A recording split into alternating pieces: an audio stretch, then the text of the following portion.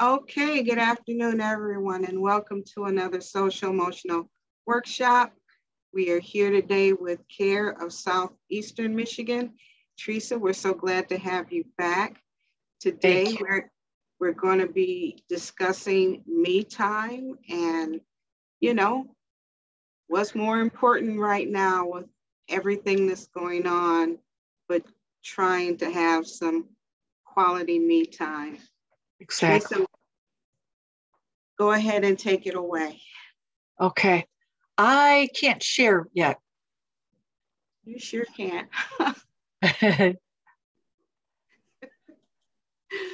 oh, there you go. there I go. All righty then.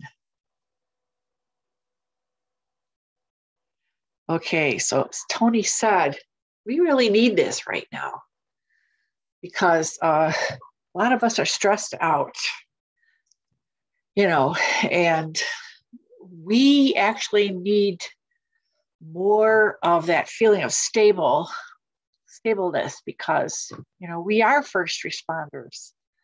Uh, we'd like to think of ourselves as a first responder. We want to be focused. If it's our kids or if it's uh, our job you know we need to be able to be focused on that. And uh, you know not be all over the place. So um, you know these are going to be some ways that we will be able to help us find that focus. Even if we only have maybe five minutes in the day we'll be able to find some things here that will be useful helpful i hope. And you know as usual um, i'd like you guys to just interrupt if you want ask questions. I'm okay with that. Uh, eventually joe will be here. So if you want to put stuff in the chat, you know, that's okay too. He will answer those or he'll let me know that you're asking questions. So this is your brain on stress. It's not a fried egg, but uh, it could be. That brain on the left is a typical brain so thing your days go on ahead, you know, going along ahead. You might have a little bit stress here and there because of uh, eustress, which is different than regular stress. You know, uh, eustress is uh, stress that you get when you have a goal, like vacation or you know a new job or something like that. There's an end to it. You have to do a little bit, a little bit of stress and planning, but uh, you know, eventually it all evens out because you're out of that stress. Uh, the other kind of stress is the stress that sticks around all the time. So the brain on your right is a is a brain that's on high stress, and what happens is, uh, you know, that dark coloration that you see, it goes to your um, old brain that's near your spinal cord, and that old brain keeps your body functioning in case you have to run or in case you have to fight. You know, it keeps your body functioning, your heart beating, your lungs, uh, you know, contracting, expanding, all that good stuff. And so, uh, what happens is in the front area there of your brain, where there's usually you know blood and and uh, on, on the typical brain, um, since that blood has gone to your old brain, what happens is you get a, a dump of cortisol, which is a stress chemical. It's not cortisone like you put on itchy skin, it's cortisol with an L at the end. And because the front part of your brain is um, has that cortisol dump in it, it's not really um, working the way it should work. And, you know, when you get those stress chemicals, not only in your brain, but you also get them throughout your body, like adrenaline in your arms and legs, because you've got to, you know, you got to fight or you got to run in times of high stress. And, you know, instinctually, that's what it's there for. But, you know, of course, we don't really need that to fight. I mean, hopefully, our stress is just about uh, our jobs and our kids and all the hats that we wear. But also, you know, what's going on there is because of those stress chemicals, your heart rate speeds up and your breathing becomes shallow and fast. And if you've ever had an anxiety attack, that's a very uncomfortable feeling. Uh, and not only that, but your your blood sugar levels go up, your blood pressure goes up. Um, and uh, your digestion slows down. And so, um, you know, all those things are happening to your body uh, while you're in very high stress levels. And there are people that are constantly in those kinds of really high stress uh, situations. Typically, we get a chance to um, maybe take a break, go for a walk. Those are the me time times.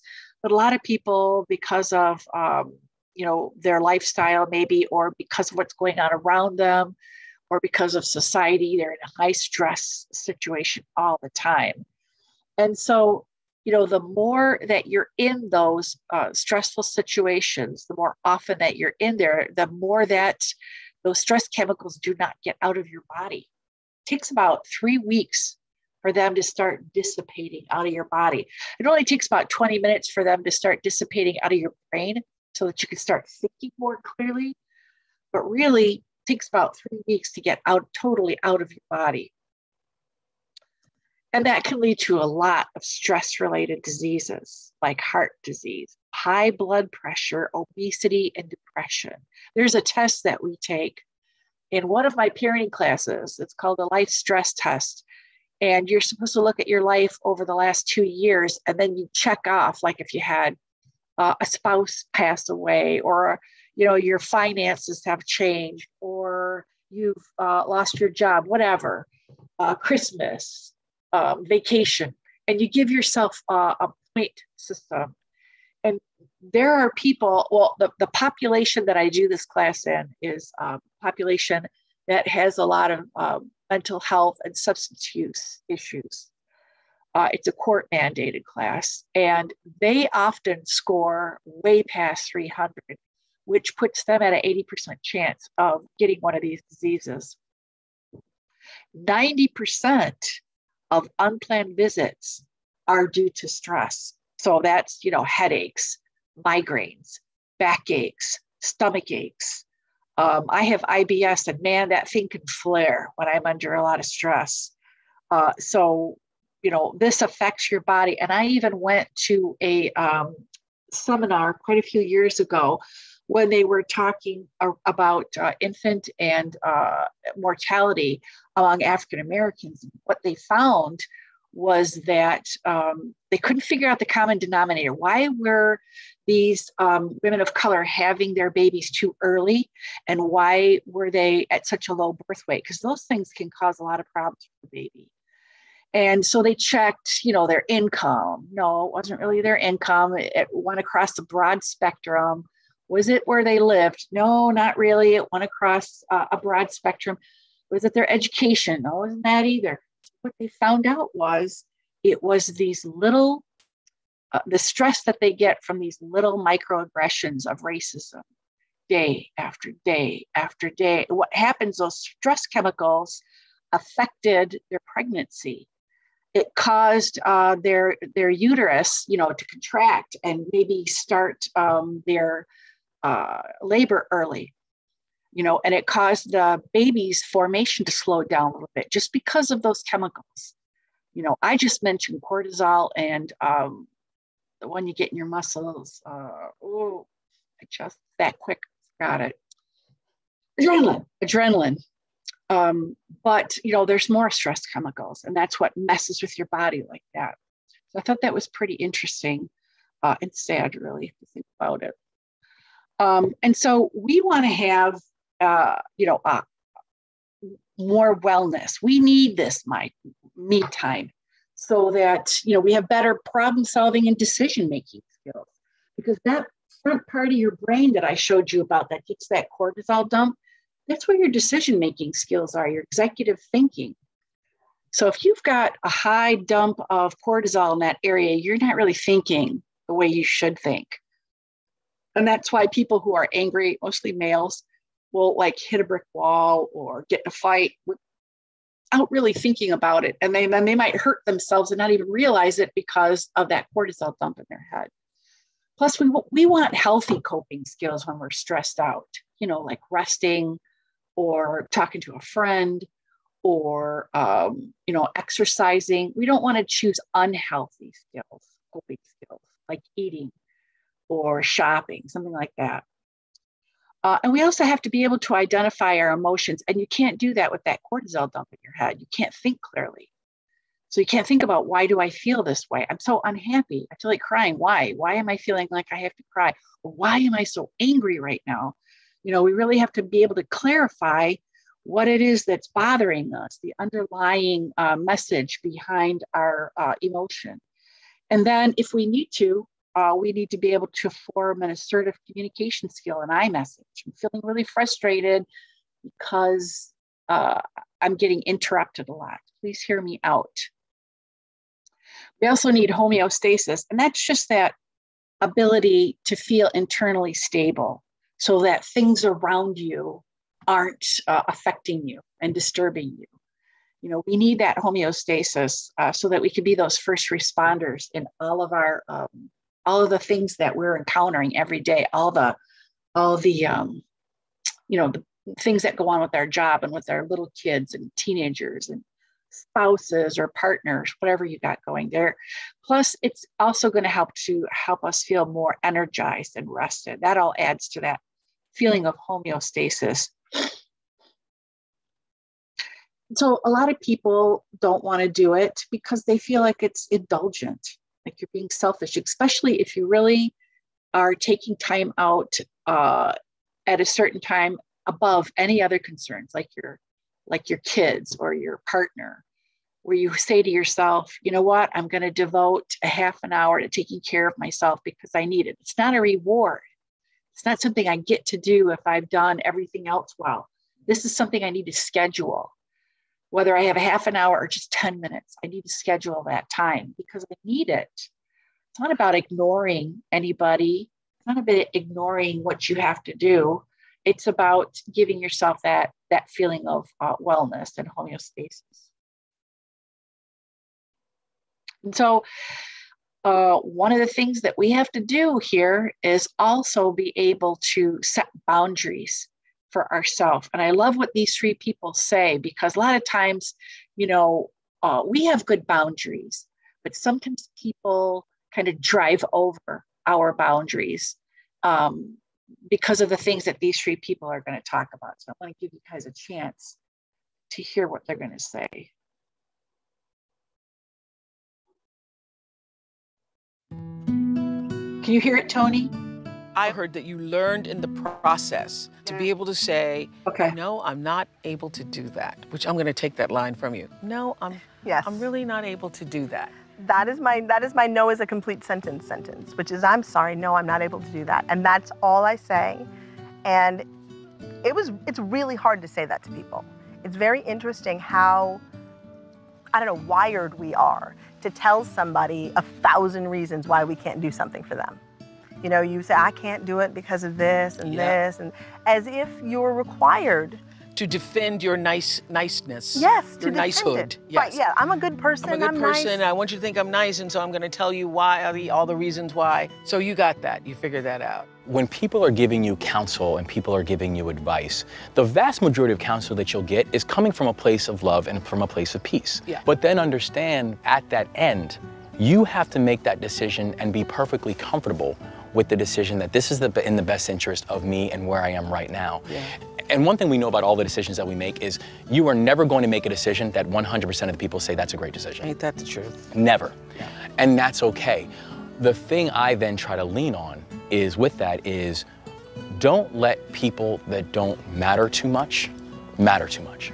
We're worried about what X person thinks or what Y person thinks. I'm like, why do they have so much influence over your decision making of your yeah, life? Yeah. Because the decision that you make is not going to impact them, nor is anything they do should it impact you. So don't let people that don't matter too much matter too much. Don't we do that? Don't we take on other people's stuff and make it about us when we don't know that we matter? When you don't know you matter, you will make somebody else's crazy about you. You got your own stuff to handle. You don't have to take on anybody else's. But I made my grandmother's meanness and her crazy and her impatience all about me. And I didn't know that I mattered because I took on what was given to me as my own. We have a tendency to do that. And it was many, many years later, many, many years later, when I understood my grandmother's story You see, we get our meaning and our mattering from our story. And if we tell a story in a way that disempowers us, we won't know that we matter even in the midst of the story.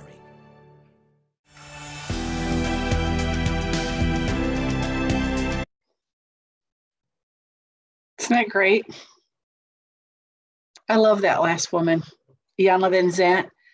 If you ever get to watch one of her uh, videos on YouTube, they're wonderful. She's got a lot of great books out too that are very helpful.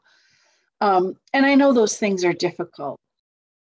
It's not always easy to not let somebody else's crazy make you crazy. It's hard to do that, especially if it's you know family uh, that you're dealing with. Um, but you know, it's learned. It's a learned thing. I mean, I am uh, 60 years old and I'm just starting to learn what I- Iyanla Vanzant has said, you know, about don't make other people's crazy, you're crazy. Sometimes I think I have a hold of it and then it just kind of crumbles and I got to go back to watching her or reading a book or something to get back to uh, where I should be. So it takes time. And we're going to relapse and then we're going to come back again. But every time you relapse and come back again, um, you're that much stronger. And in the end, it's a positive thing for you to be able to do that. And I love the first woman that uh, Shonda Rhimes said, uh, you know, no can be a complete sentence. Maybe it can't at work, but sometimes in your personal life, you don't have to explain yourself uh, to everybody. And that can be really hard. I know, because that's not what um, society tells us to do. Sometimes it's good for us to do that because somebody else might not think that your excuse or your reason is good enough and they don't have to it only has to be good enough for you. That's the most important thing. And so uh, i don't know if you guys have ever uh, heard of this before. It's easy enough to find on the web to uh, in, on the internet uh, to find out what your light your self-love language is. Actually it's your love language. It's a book written by gary chapman and it's about couples. But he since then has expanded it to include uh, children um, and um, this one here about self-love you know like i took that test and i think it can change a lot uh, but I myself my love language is affirmation. So I need positive words to build myself up because I, I, I laugh about um, this with my friends, but when I used to run um, a long time ago, I remember running down the street and I saw a dead animal on the street, a dog, and I was going through all kinds of stress. Oh my gosh, you know, what do I do when I get there? And what if it's still alive? What do I do? But what if it's dead? Do I just leave it? Do I run away? What do I do? And I was just so like stressed out over it. And when I got there, it was a bag it was a black uh, garbage bag. And like, so I stressed myself out over that, nothing. And um, so I try to remind myself sometimes. Uh, one of my positive self talks uh, is uh, it's not a dog, it's a plastic bag. You know, when I make those uh, not affirmations, but when I have to talk to myself because I'm making an assumption or uh, I'm stressed out because uh, I'm afraid this person's thinking that or that person's going to be upset about me and what choice that I've made. So we need self positive self talk. Uh, if your love language is service, then you know you should have the right to give yourself what you need in order to um, feel good or take some time off for yourself.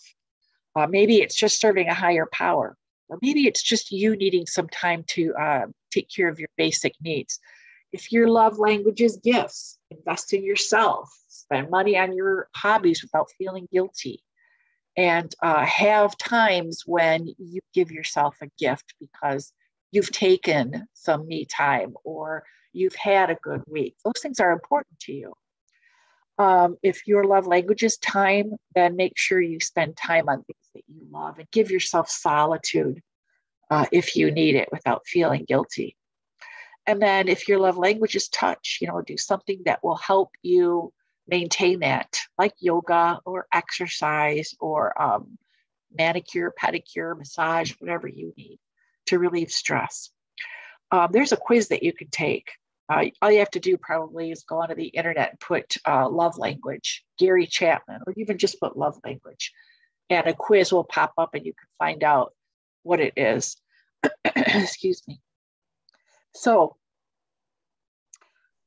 what we need to do, especially this is what something that I got from the curriculum for that court mandated class, is I want those people to know after they take that test that you need to take care of these six areas of your life that we're going to go over right now. Because if you don't, you know, you're not going to have the uh, empathy or the energy. You know that there are things around you, like this mom that needed that need to be taken care of uh, you may have empathy for your kids and what needs to be done, but you don't have the energy to do it until you get burned out. So the curriculum says that you need to hit up these six areas every single day, but some of them I, I just can't do, and it stresses me out more to try to do them. So I just try to keep in the back of my head that I need to do it at least during the week. But I don't know if I can do creative stuff every single day that's kind of hard. But anyway, let's just go over them. Uh, this one's pretty basic and we'll all do it. Eating, drinking, bathing, resting, exercise, sleep. Those are things that, you know, that's an area of need that uh, unless you're not alive anymore, you're doing those things. And so I don't know about sleep though. Uh, I don't know about exercise. Those things um, might be something that we need to make sure that we do. I mean, even 10 minutes of exercise, go outside, especially today when the sun's out and you're going to feel a lot better if you can walk 10 minutes. You don't have to do it for an hour. Uh, the more you can do it, the faster you can do it, the better. But why, you know, why not just do it for your brain, for your soul? Go outside, get in the sun, and take a 10 minute walk. And, you know, we need to have about seven hours of sleep. Again, if you got babies, not always easy to do. If you're a night person, it's going to be real hard to do. But, you know, seven hours can really help you to be able to keep your mind functioning sharply. You know how you feel if you don't get enough sleep. You can't think right. You know, your brain's cloudy. So sleep is really important because that's when your body repairs itself. Uh, so the more we can get, the better we're going to end up feeling. Um, another area of need is emotional to give and receive love and, and to have attachments. You know, for somebody like me that lives alone, uh, my daughter's here right now, but when she's going to be going, uh, leaving in August. Uh, and so after she's gone, I do spend a lot of time alone because I'm an introvert. But I got my dogs. And, you know, research has shown that simply petting a dog lowers uh, cortisol in your brain. Um, and if you know it's if you're somebody that needs to have those other people around you um, that makes you feel happier to be around uh, friends or just out meeting people dogs can do that too. They increase social interaction. And um, they also release that feel good hormone in your brain called oxytocin. Uh, those areas in your brain that shoot off those feel good chemicals um, dogs can help you do that uh, another area is social, and uh, I think that's why um, we had so much trouble during the shutdown when we were uh, quarantined, uh, because it's hard for people not to be around their friends. You know, they're um, for a lot of people. I shouldn't say everybody, but um, you know, life is better when you know you have people that you can get together with, even if you just call them on the phone. Take five minutes to call somebody and just say hi how you doing? You know hearing that other person knowing that they're there is is good for you. Or the social interaction we get on um, you know facebook or social media can help if you're stuck inside. Stimulate your brain you know um, doing puzzles uh, wordle or uh, you know words with friends or those sudoku things that you can do. Uh, those are really um, good to do or just even talking about uh, current affairs. Like a lot of people don't like to do that. They don't want to talk about current affairs. They don't want to talk about politics. I actually need that. Um, I can't. I tried. I love Wordle too, Melissa. um, although it frustrates me sometimes. The other day, I fell asleep trying to figure it out, took a nap, and woke up and had to do it. Anyway, I'm sorry. So uh, I tried to stay away from talking about politics and watching the news, and it drove me crazy. You know, I needed to know what was going on. Um, and so I just limited my time with it. And um, I didn't talk about it on Facebook. That helped a lot. You know, just being informed is actually what I needed. And I don't like the way that um, I feel when I don't have, um, when I'm not stimulating my brain, when I'm not thinking about other things um, besides what I have to think about every day, which is work. And next one is uh, spirituality. Um, and so some people get that with church, but you don't have to. Um, spirituality could just be um, connecting with things other than material or physical things. So it could be helping other people. You know, it could be volunteering. It could be uh, just, you know, being that kind face and those kind words uh, in a world right now that seems so um, in the negative column on kindness, you might be that person uh, that makes somebody else feel good. Um, that doesn't seem like spirituality, but it is. It's thinking about somebody else beside yourself and doing it for the common good. There's a skill that Joe and I um, teach in our parenting classes. Well, any you know, anytime you go for any kind of uh, growth classes, you learn skills, and that's validation. People just want to be validated. And so when I was first going to the parenting classes, it's one of the things that I learned um, that I found really worked with my kids that convinced me that this parenting class wasn't crazy. Is I went home and I re- used reflective listening with my son. He was only like four, I think, at the time, and he really responded to, well to that.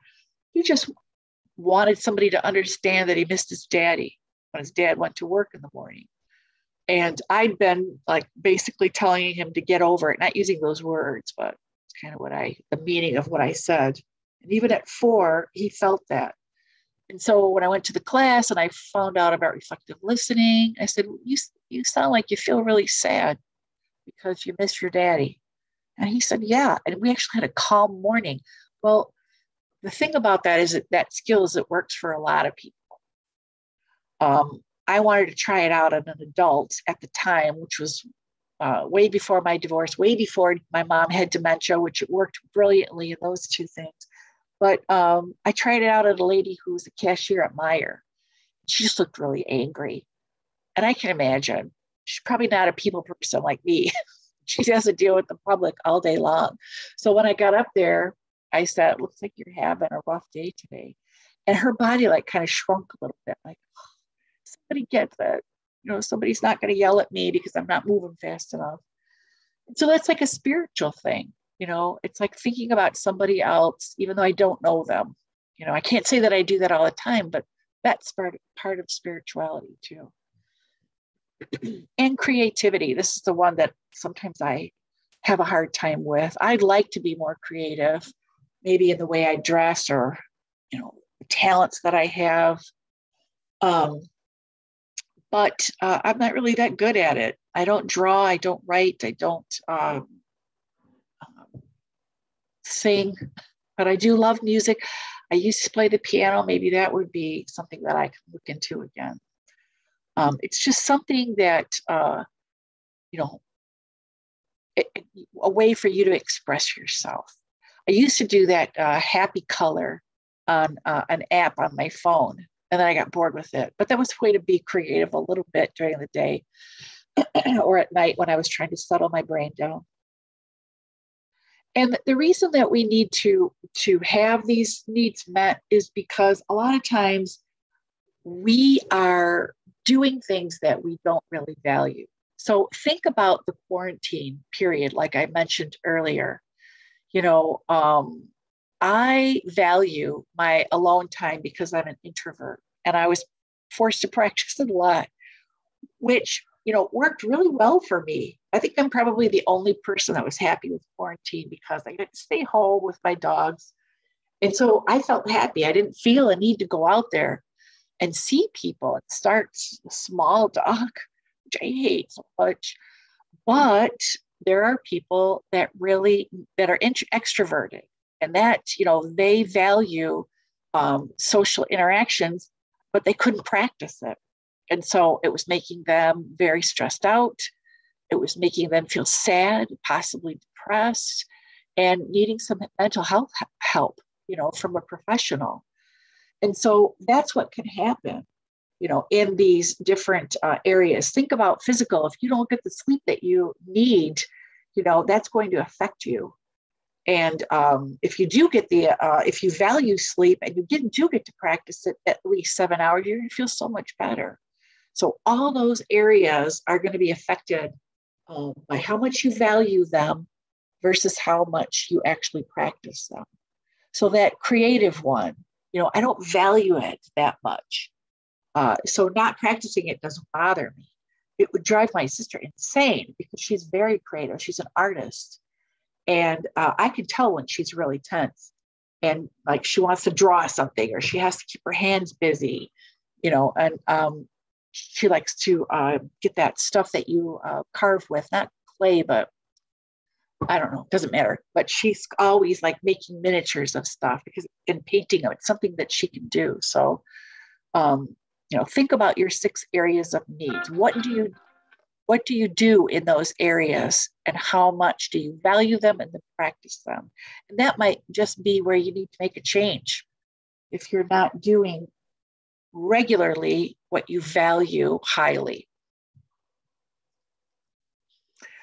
So, what are some barriers? Okay, uh, parenting. I've got three or four kids, or I've got really small kids, or just kids in general, you know, um, also with my job. But you can't be the best parent that you can be if you know you're empty if your your well is empty there's not going to be anything for you to draw from um, a lot of people uh, experience guilt.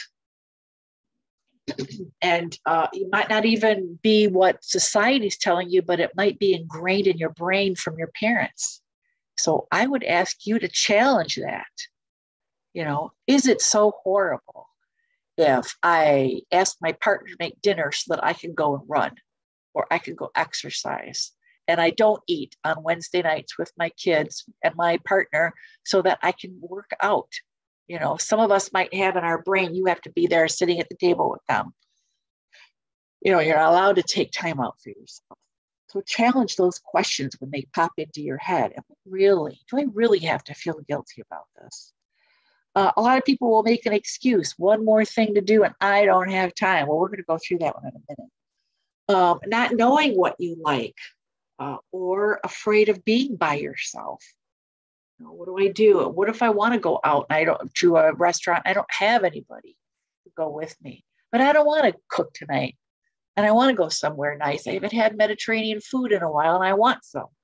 You know, but it might be hard for people to do that because they feel funny being alone in a restaurant. Or, like I said, they might not know what they want to do. So go out and try something. You don't have to love it. If you don't like running, there's other a hundred other things you can do. If you don't like reading, there's a hundred other things you can do, but try it. But I think that's one of my problems is that I was never um, the type of person to have a hobby. Um, and now I'm, you know, besides reading, I'd like to have another one. I just don't know what to do. And I always like think these things in my head. Well, I, am probably not going to be any good at the piano anytime anymore. I hated it when I was little going to practice. Well, maybe I won't feel that way. I just have to go out and try it. If I don't like it, okay, you don't have to do it. Nobody's going to force you. Um, and then do what works for you. Don't do what other people do. Uh, whatever is going to make you feel calm and rested and give you that feeling of homeostasis, that's what you need to do.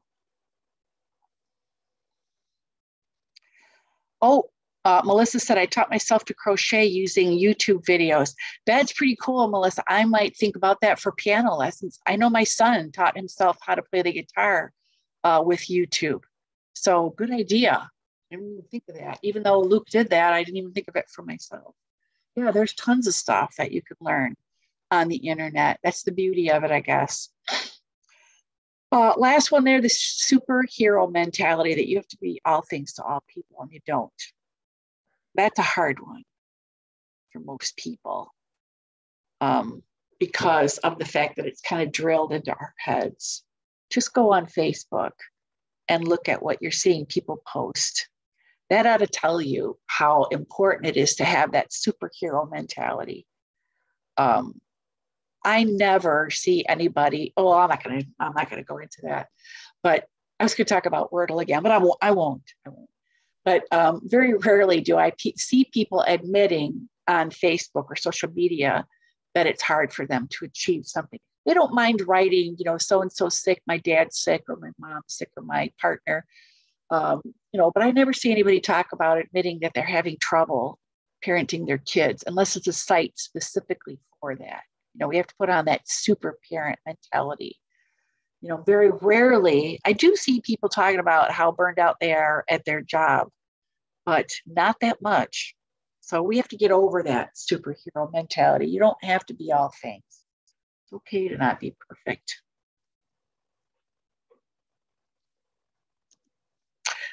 So we have to learn how to relax our mind and body. And a lot of people will say, I don't have time to do this. Well, you know what? The average person watches about five hours of TV per day. I'd say even more if they're marathoning something. Two and a half hours of social media per day.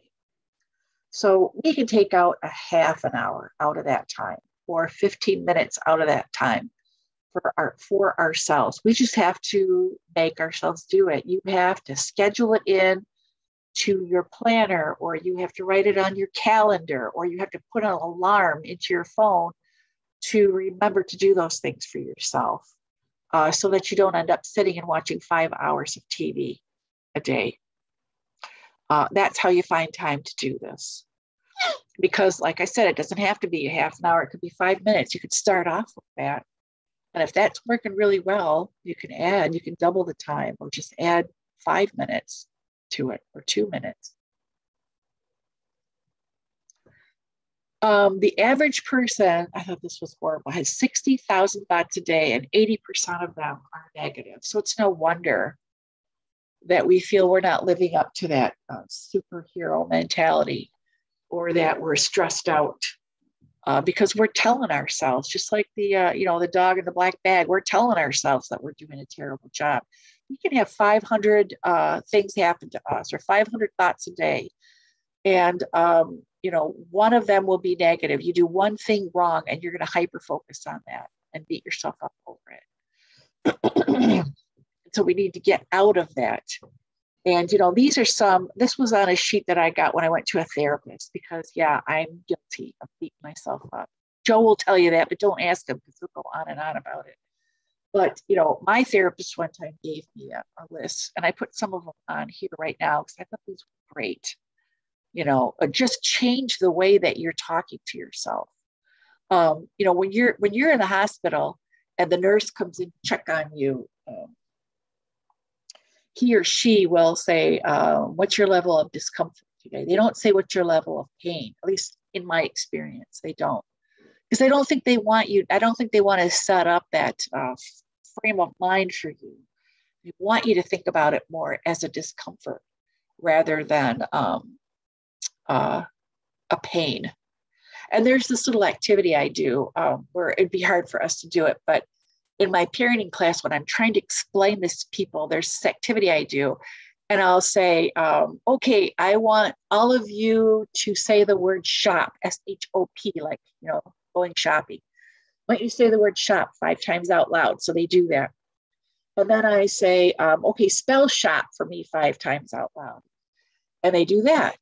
And then I ask them to say it out loud again. And then as soon as they're done saying that, I say, what do you do at a green light? And they say, stop. And it's just a trick, you know, because they're already in that mentality of, you know, that word. And so the first thing that pops into their head for a green light is stop. Once in a great while, I will actually have somebody say go, but not not very much. So uh, my favorite one's not on this list, but what I always say to myself when I'm having a lot of trouble is um, I always land on my feet. That's true. Even if it's a bad uh, outcome or consequence, I'm still alive. I'm still breathing. I'm not disabled um, I, I can go to work. I, I have a job, so I am landing on my feet. Um, but there's a lot in here that you can look at or make up for yourself. Uh, even though right now I feel low and sad, I will feel happy again. Those are things that you could say to yourself. I'm, I'm afraid right now, but I'm strong and I can do this. whatever works for you. Some of these might be cheesy, but some of them, uh, you know, might help you to feel better, get you out of that frame at work in your head of uh, I can't, and get you into a new framework of I can. Yeah, Joe says this too shall pass. Yes, true. Everything's going to pass, uh, and you'll feel better. And if you don't, you can get help. You can always get help.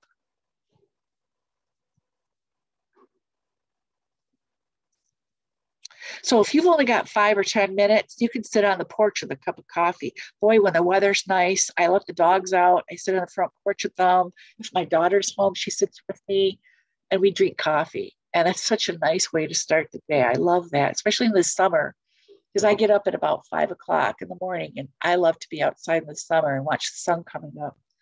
You can call somebody and talk to them, not about a project, not about something you got to do. Just talk to them, just babble, vent let that other person vent and uh, you know or get a promise to talk even longer later tonight or get up and move around and walk around uh, that can free you up and get that oxygen in your head sometimes like uh, i don't like to sit and do that marathon thing uh, but sometimes i can't help myself and so I set an alarm. I know this sounds really cheesy, but I read this thing about uh, people who sit for long, long periods of time.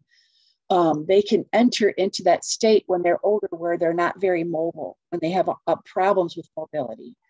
And, you know, so I, if I'm going to be sitting in front of the um, TV for a long period of time, I set my alarm on my phone for every half an hour to remind me to get up and, and move around so, like, I'll stand uh, in the back of the room and do half jacks, or I'll go walk around, stop the stop the series and walk around a little bit for a few seconds, and then go back and sit down again, just so you're moving, so you're not sitting there stagnating.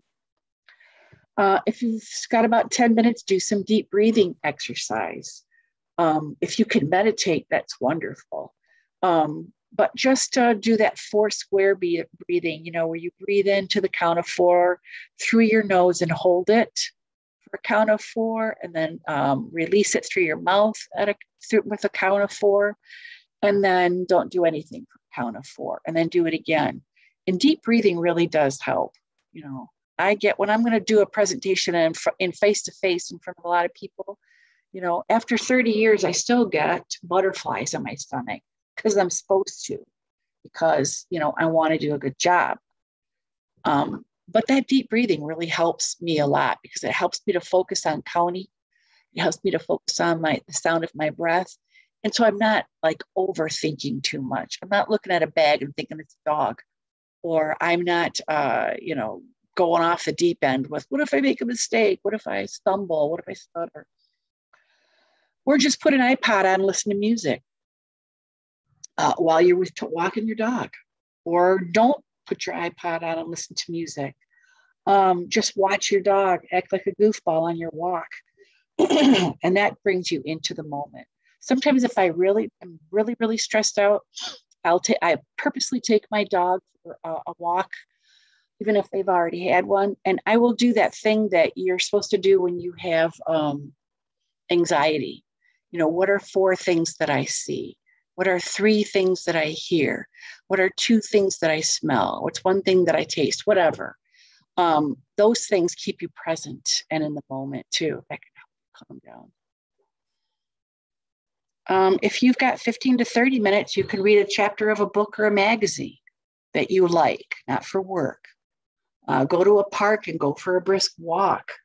Um, outside's good for your soul uh, better than walking on a treadmill. But if that's the only thing you got, then do that too. Soak in a tub. Uh, if you have small kids, just make sure somebody's there um, to watch your kids so that you don't hear mommy, mommy, mommy at the door all the time. And uh, keep yourself hydrated, whatever works for you. but a bath is a great way to unwind. When I was pregnant, that's what I used to do all the time. Is just sit in a tub until and read until the water got cold.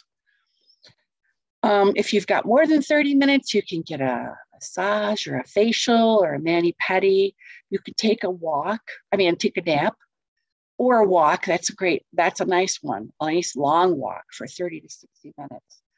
Um, we used to take an hour walk in the summer, me and my dogs. I would, because I get up at five, So I got time before work and I would go for an hour walk and cover probably about three miles.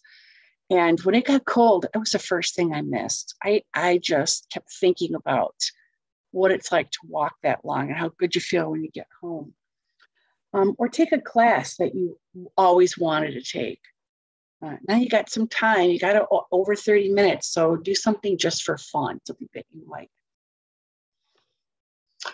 And so here's a, a lot of resources. Uh, these I got from Joe. I haven't actually looked at all of them, but you know, CARE CARE can give you a lot of resources. I told you that uh, you know if you feel yourself getting sad and things aren't working to help you feel better, you can call CARE. Even if you don't live in Macomb County, you know we can help you with uh, resources in other counties because we don't just have to give referrals for um, our programs. We'll give a, you know, anybody referrals. And we also have, um, we have a, like a satellite office. Uh, it's called RUC, Recovery United Community Center. And a lot of times they have uh, support groups geared towards people who are in recovery, but they also have meditation and yoga classes there too. And I asked one time, you know, do you have to be in recovery to go? And they said, no, you don't have to. You can come. Um, Mental Health Network has uh, always has good resources. Um, the Right Connections has a lot of good resources. You just have to click on what you need. And um, you know, they give you a whole list of things where you can get help and support. You click on those. And uh, I'm not familiar with a lot of these. Uh, maybe Joe can talk about some of them because he's looked at all of um, like uh, yeah. Uh, that yeah. gym. What's that about, Joe? The Mood yeah. Gym. The Mood Gym. I think there's a fee. It's an app on the phone. I heard good things about it. Some friends um, use it, but I don't do any um, fee. You know, I just do all the free stuff. But My Strength um, is a really good app. This is a Macomb County mental health um, grant that they have and you can see the access code. You go to mystrength.com and to sign up, you put this code MCCMH and then you get that. So it's every day you visit it, you know, it gives you an assessment. You can watch some breathing exercises. So it's all kinds of uh, health and wellness tools. And it's totally free. I really like that app. Headspace, I believe this is on uh, Netflix or something, where you can go and you know, get some um, stress relief uh, skills, some breathing exercises. They have all kinds of things on uh, mental health and wellness. And, you know, they have little educational things or little activities. And then the rest are resources, you know, like the uh, CDC and the National Institute of Mental Health. Uh, NAMI is a good website. It's a National Alliance of Mental Health or Illness. You can click on any disorders. It'll give you the um, risk factors, protective factors, signs and symptoms, and then some tools on how to manage some of those uh, challenges. And of course, Substance Abuse Mental Health Services Administration. It's a pretty well-rounded um, substance use and mental health website there. In the ADAA, that's the Anxiety Depression uh, Anxiety Depression Association of America. Really great websites just to kind of uh, get a little education as well as resources and tools. You know what, too, is um, there's a site, Psychology Today. Um, you can go on there and look for a therapist based on what you need.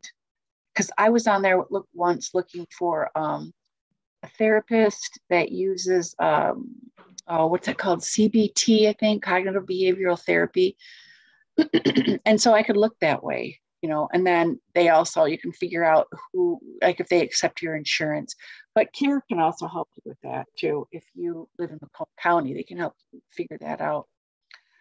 Um, but uh, also, yeah, all you gotta do is call the number on the back of your card. That will tell you too. So it's always a good thing to ask for help when you need it. And so there's the care information. Um, if you are looking for that kind of help. want to call that uh, 541 care which is 2273 or you can go on our website. That's where a lot of the programs are listed. And um, you know the RUC calendar is on there too. Um, our conference that's coming up. So there's a lot uh, of things that you can find on there on the care website. So any questions or comments or thoughts on today what we talked about today you guys have the ability to unmute yourselves you can just unmute and ask, or you can type your question into the chat. And also don't forget to use the link in the chat to go to the sign-in sheet and sign in. You're welcome, Jamie.